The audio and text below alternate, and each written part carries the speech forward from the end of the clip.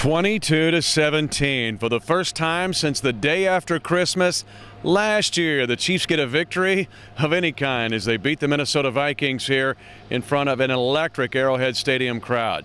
I want to talk about trenches in this game.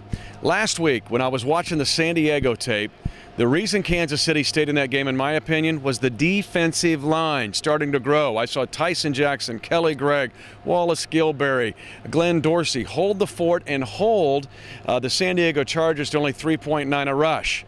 And I was thinking, could it hold over to this week, taking on Adrian Peterson because AD, one of the best in the league, and came in averaging 5.1 a carry. They did it again and did it even better than last week because this time it led to a victory.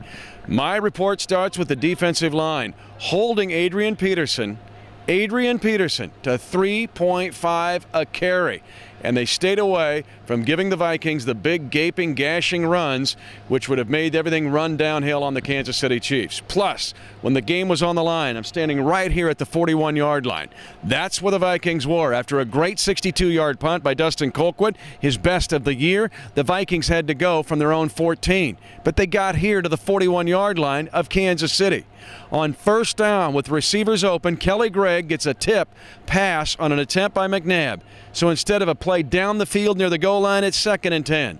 Then a tip pass again with a wide open player for the Vikings down the field. Tyson Jackson gets a tip pass. Now all of a sudden, the Vikings have an issue. They've got fourth and 10 on two plays made at the line of scrimmage by the defensive line. The Chiefs hold on fourth down and get the victory, beating the Vikings 22 to 17.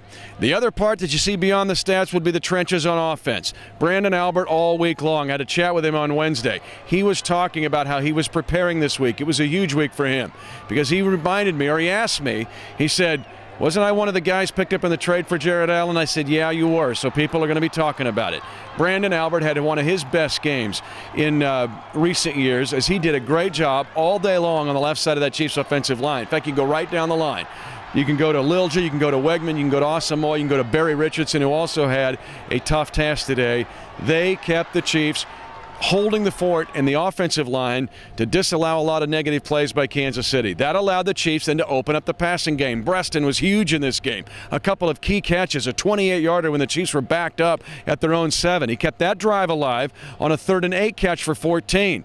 Ryan Succop, another one of the heroes today, tying a Chiefs record with five made field goals but he made one from 54 yards on that drive to give the Chiefs the lead back. He also hit one from 51 at the buzzer of the half to give the Chiefs a 9 7 lead. But to me, and Matt Cassel had a big day. Bowe had the 52 yard catch and run for a touchdown. If he stays on his feet, he's as tough there is to tackle in this league. It's yards after catch for these Chiefs receivers. We'll talk about that during the week on KCChiefs.com. But to me, this victory, trenches, trenches, trenches. The defensive line for the second consecutive week playing in a winning fashion, and the offensive line with a tough spot because they were playing the Vikings, who led the league coming into this game, enforcing negative plays uh, by their opponents. So offensive and defensive line getting it done for Kansas City, and the Chiefs win it 22 to 17. Thanks to the great folks at Time Warner Cable for making this post-game uh, report happen. Listen, next time you're here for at Arrowhead for the Monday Night Football game against the Chargers, make sure you go to the Hall of Honor. It's a must-see. It's a presentation of Time Warner Cable. It's a victory Sunday. Yeah, find the sweet nectar of victory. The Chiefs get to taste it. 22-17 over the Vikings. I'm Mitch Holthus, voice of the Chiefs on KCChiefs.com.